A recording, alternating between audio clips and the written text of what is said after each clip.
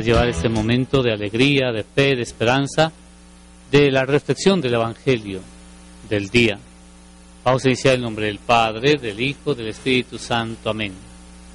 Elevemos nuestra oración al Dios de la vida, al Dios del amor, el que a lo largo de toda la historia de salvación nos enseñó a amar. Por amor Dios creó el universo, por amor creó al género humano, por amor creó todo cuanto existe aquí en la tierra. Por amor envió a su Hijo Jesucristo para que nos salvara. Por amor envió al Espíritu Santo para que nos santificara, para que nos iluminara, para que nos indicara el camino que debemos seguir, el camino del bien. Todo por amor.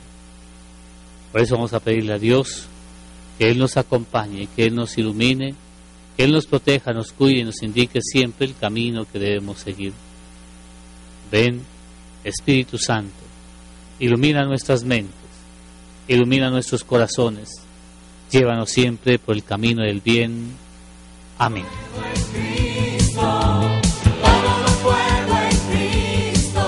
En este momento quiero invitarte para que escuchemos el Evangelio de San Marcos, capítulo 12, 10, 28, 34. Marcos 12, 28, 34. Nos dice la palabra de Dios. En aquel tiempo, un escriba se acercó a Jesús y le preguntó, ¿qué mandamiento es el primero de todos?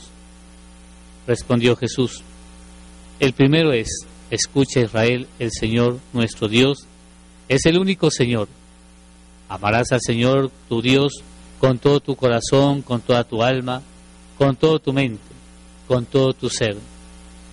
El segundo es este. Amarás a tu prójimo como a ti mismo.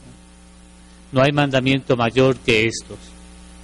El escriba replicó, Muy bien, maestro, tienes razón, cuando dices que el Señor es un solo Dios y no hay otro fuera de él y que amarlo con todo el corazón, con todo el entendimiento y con todo el ser, y amar al prójimo como a uno mismo, vale más que todos los holocaustos y sacrificios.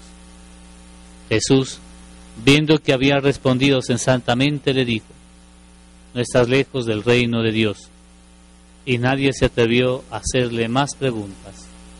Palabra del Señor.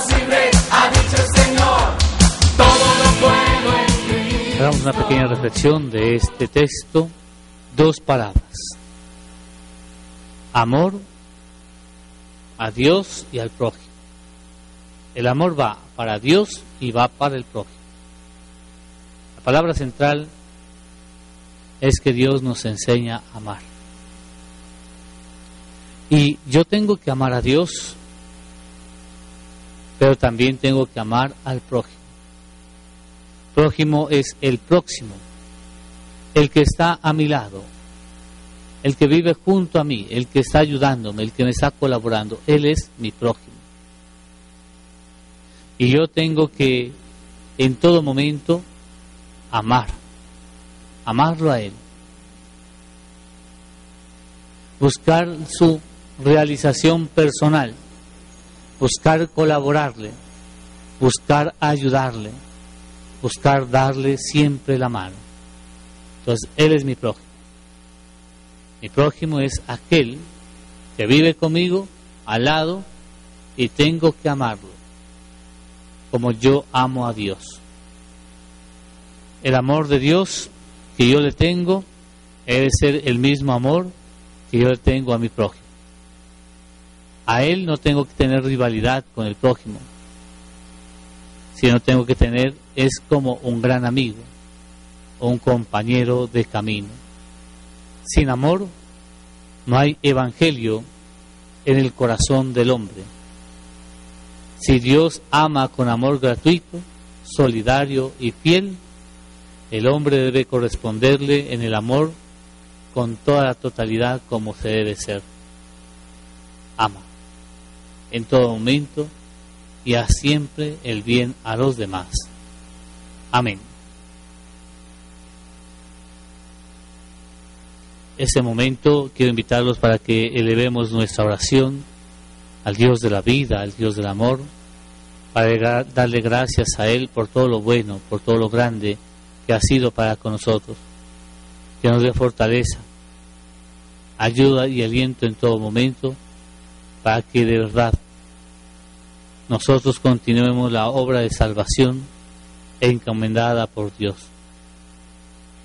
Señor Jesús, aquí estamos para que tú nos bendigas, nos acompañes en este momento. Tenemos problemas, pero con tu santa bendición van a salir y van a encontrarnos y vamos a encontrar las respuestas a las dificultades que tenemos. Que el Dios del amor y la misericordia te bendigan a ti, te protejan, te cuiden y te guíen siempre por el camino del bien. Que Dios te bendiga en nombre del Padre, del Hijo y del Espíritu Santo. Amén no puedo